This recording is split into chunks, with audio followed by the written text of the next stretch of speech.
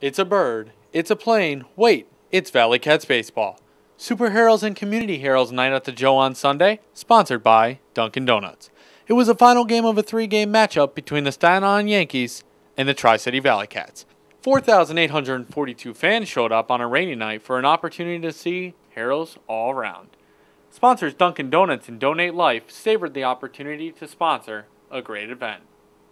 We started off by giving uh, mystery Dunkin' Donut cards with amounts of $2 up to $60 for the first 1,000 fans that entered.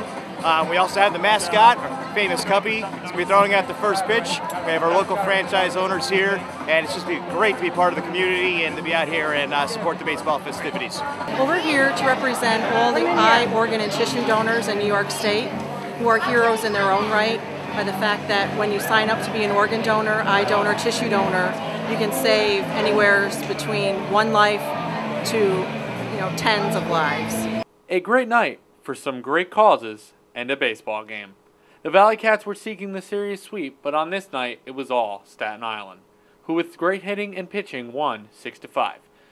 Valley Cats ace Carlos Cavedo got roughed up on the mound for the Cats, giving up 5 runs, but he managed to strike out 7.